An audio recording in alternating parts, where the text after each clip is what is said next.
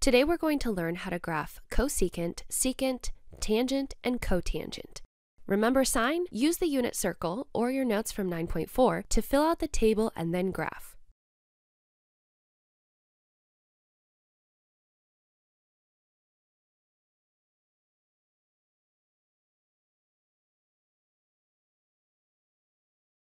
Because cosecant is the reciprocal function of sine, we can just find the reciprocal of each sine value to complete the table for cosecant. Remember, the reciprocal of 0 is undefined. Now graph cosecant. The undefined values represent vertical asymptotes.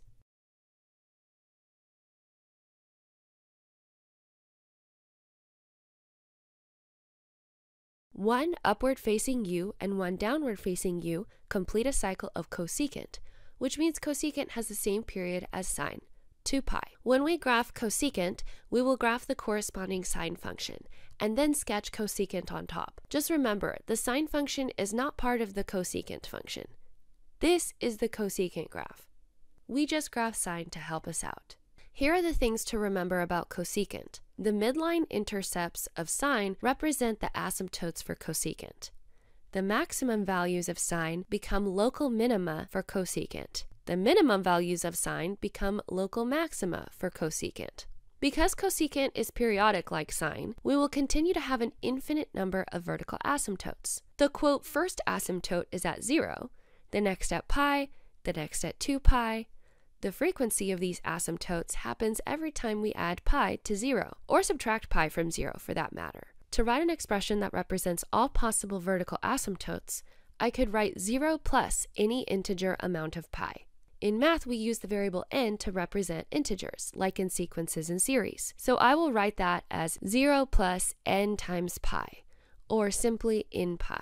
Let's copy our table for cosine from 9.4 notes or use the unit circle to fill out the table. Now flip each y value of cosine to find the corresponding values of secant, the reciprocal function of cosine. Since we get all secant values from cosine anyways, secant also has the natural period of 2 pi. Now graph it below.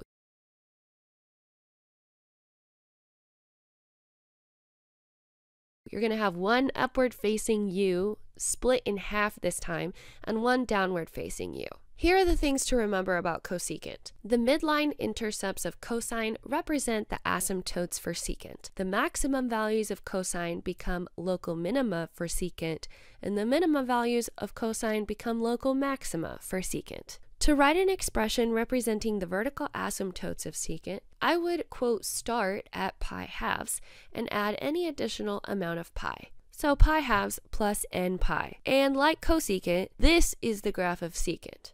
We only graph cosine to help us graph secant. Let's graph f of theta equals 3 secant of theta over 2 plus 3 pi halves. First, find all the important information for graphing the corresponding cosine function.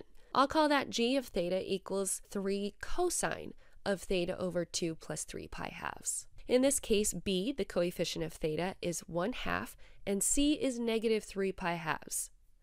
Recall that P1, our phase shift, is C over B, and the new period is 2 pi divided by B.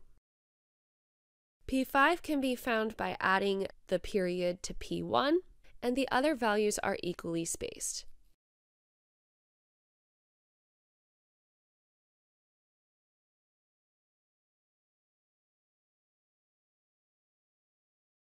Now graph g of theta.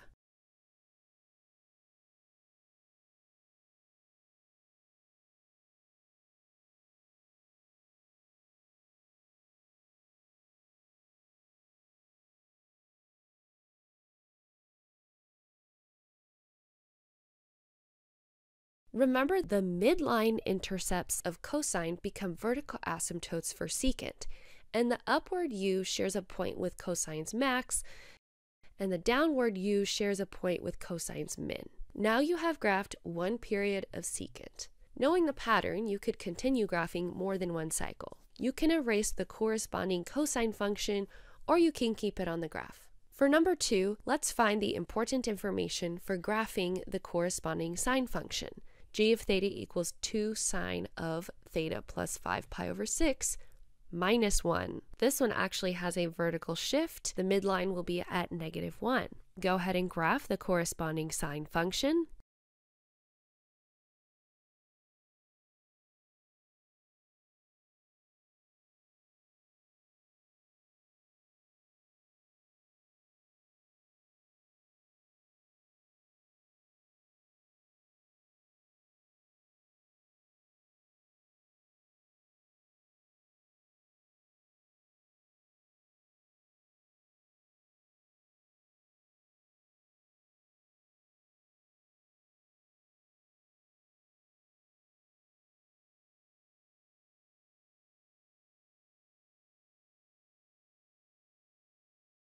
And now graph cosecant. The midline intercepts of sine become the vertical asymptotes for cosecant. Draw one upward facing u at sine's max and one downward facing u at sine's minimum. Now we've graphed one cycle of cosecant. Let's use the unit circle to fill out the following table for tangent.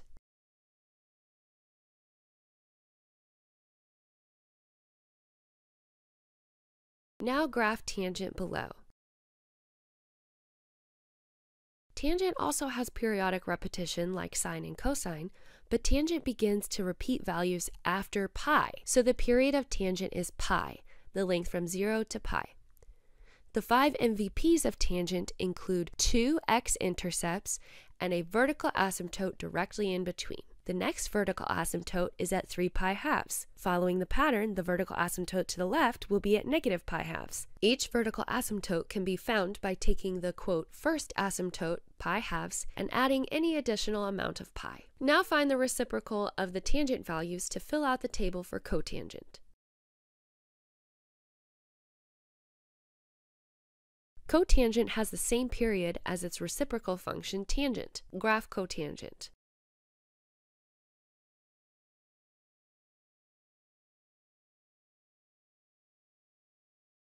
The five MVPs for cotangent include two vertical asymptotes at P1 and P5 and an x-intercept directly in between. Notice that the curves of tangent are steadily increasing and the curves for cotangent are steadily decreasing.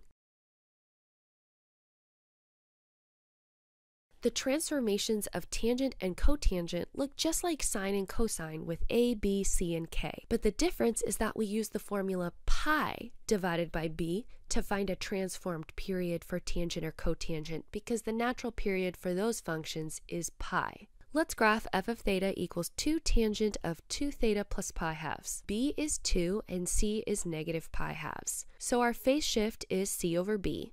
The period is pi over b, making it pi halves. Use the same process as when graphing sine and cosine to find the rest of the five MVPs. P5 is P1 plus the period, and the other values are equally spaced. Oh, look, P3 is directly between negative pi fourths and pi fourths, which is 0. That makes P2 negative pi over 8, which is directly between 0 and negative pi fourths, and P4 is at positive pi over 8, directly between 0 and pi fourths. There is no vertical shift and the vertical stretch is 2. When drawing your axes, remember to extend to both the left and the right so you can graph two full cycles of tangent.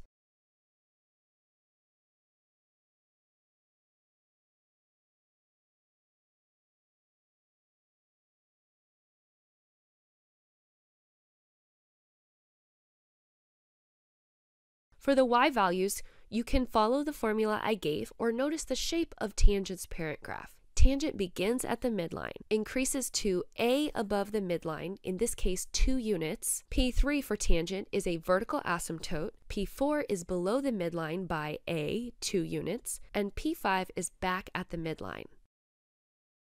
Now continue the pattern to the left and right to graph one more period. Because your period is pi halves, the spacing between your vertical asymptotes will be pi halves.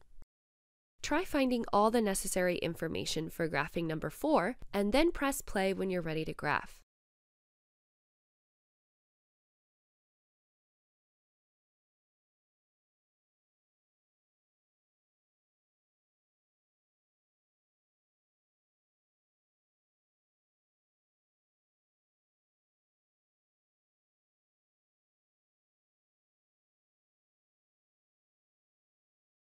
I extended the x or theta axis to the right to graph one more steadily decreasing wave of cotangent. Once we've drawn and labeled our axes, remember the overall shape of a period of cotangent. P1 and P5 are vertical asymptotes and cotangent steadily decreases. So P2 will be above the midline by a half unit since A is 1 half. P3 will be at the midline and P4 will be below the midline half a unit.